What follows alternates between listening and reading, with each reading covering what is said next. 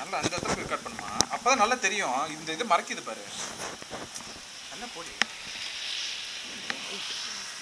அங்கே போமா